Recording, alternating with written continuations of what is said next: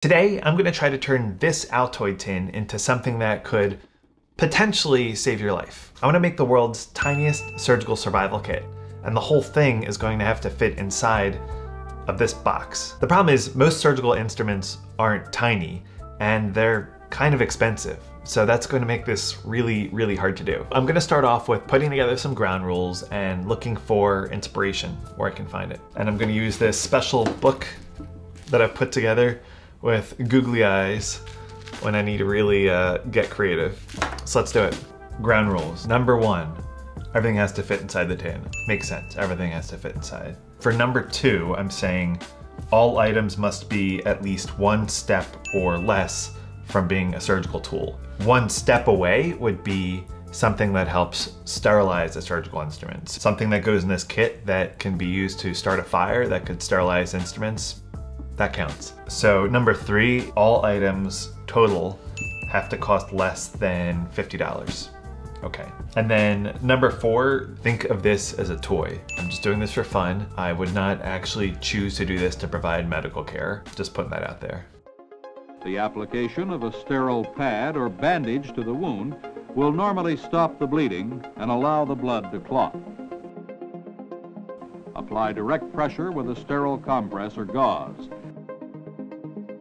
When a blood vessel has been cut, position the victim in a way to decrease the force of blood flowing to the wound. Give the victim plenty of fresh air. Direct pressure with sterile gauze or other clean material will slow the flow of blood and promote clotting. When bleeding is so severe that application of direct pressure or a constricting bandage is not sufficient to control it, a tourniquet can be used. A tourniquet can clamp off the entire blood supply to certain parts of the body and cause extensive damage to the skin and underlying tissue. Therefore, it is used as a last resort only after other methods have failed.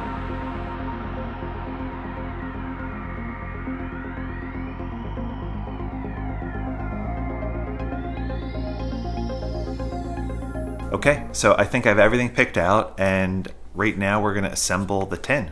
This is the empty Altoid tin here. You can see it's been spray painted and dressed up a little bit. And we're gonna build everything from scratch. So here goes. So the first item that I... Hold on. Let me show you this shot that I'm about to get. Let's look. Before I show you that shot setup, I want to mention that this week's video is sponsored by a really special company named Canvas. Canvas makes this incredible product that helps you get really beautiful, crisp overhead video shots, not to mention a bunch of other creative angles. And what makes it so special is that it's like having multiple products all in one. It's a lamp, but it's also this really high quality ring light with three different color temperatures. And it holds your phone, positioning it right in the center of that light, guaranteeing that your shot is perfectly lit every single time. When you position this lamp and let it go, it's super stable. There's no drift, there's no wiggle, so you can set it up, get the shot, and move on. And one thing that I really love is it lets you replace a bulky, expensive overhead setup, like the tripod and the holder and the lighting and all of this stuff that you'd normally have to set up just for one overhead shot. Right in the lamp, takes two seconds, and then you're done. And some of the shots that you're gonna see on my YouTube channel were actually made using the canvas lamp, like the one you're looking at right now. The lamps themselves come in black and white, and the bases come in a variety of like really gorgeous, sturdy materials. Everything from marble to wood to different types of metals. Right now, I'm using their limited edition all matte black lamp and base combination. Honestly, I love this thing, and if they hadn't sponsored me, I probably would have bought one anyway. To get your own, use the link in the description below, and make sure to use my code to get 10% off your order. All right, back to the video.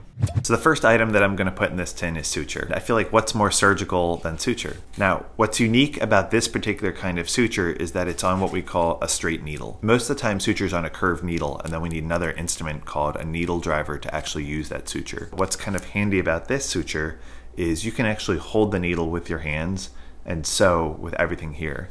And at the very end, once you've tied your knot, there's actually an element on the tip of this needle that you can use to cut your suture. Next in our kit is this itty bitty piece of gauze. This is a two by two square piece of gauze. Normally when we make a surgical uh, dressing, we use a lot more gauze. But if I'm making a surgical survival kit, I can't not put gauze in there. So here's our two by two piece of gauze. Next item is Tegaderm. Now this is also a really tiny piece of Tegaderm. If you haven't seen Tegaderm before, I think the best way to think about it is if imagine if you were sort of manually building a band-aid when you put it on someone. So you'd have a soft sort of absorbent part and then you'd have a more adhesive part. When we make a dressing, often the gauze will be the more absorbent part and then this Tegaderm the part that goes on top, this is kind of the adhesive part of that dressing. So next item in our kit, this is Surgicel, and this is, of all the items in the kit, something that we do actually use in the operating room. Surgicel looks like a thin, sort of pliable piece of fabric or like a meshy piece of material, but it contains agents that help get blood to clot. We use this in the operating room when we have a raw surface that's really oozing.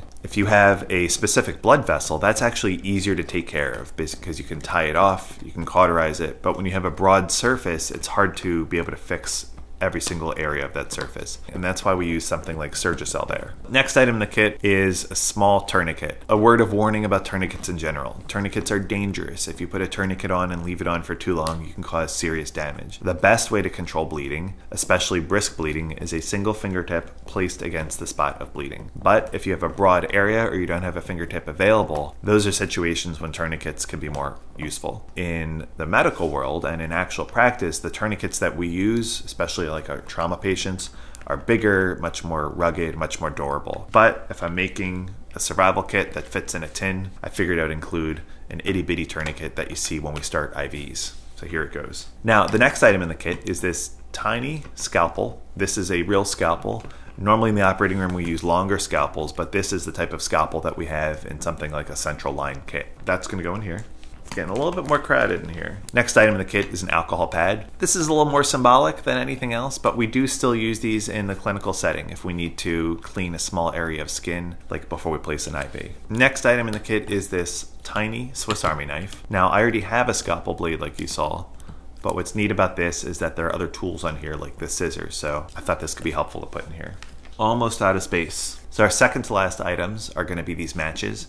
Now, there are lots of reasons that starting fire can be helpful in a survival situation, and there are ways that fire can be used to sterilize instruments. So I figured including matches would be great, and why not include special matches that can't be ruined by water. These matches that you see here are weatherproof and waterproof matches. So if these get damp and wet, they can still be used to start a fire. Now, a word of warning if you are trying these for the first time, be extremely careful when you light one of these things because it's a really powerful flame uh, and you can't easily just blow it out. So be in an environment where you have room and space until the flame burns itself out. Now the final item on the kit are these little tabs. These are essentially iodine tabs and you add two tabs of these to a quart of water and that can basically clean your water and make it safe to drink. These are not water filters. They do not make the water necessarily taste better, but what these do is they help get rid of a lot of the pathogens that could make you really sick from drinking the water. All right, so those are the final items. I'm going to shove them into the kit here. And that's our surgical survival kit. Is that right, buddy? We're going to do this later, bud. Okay.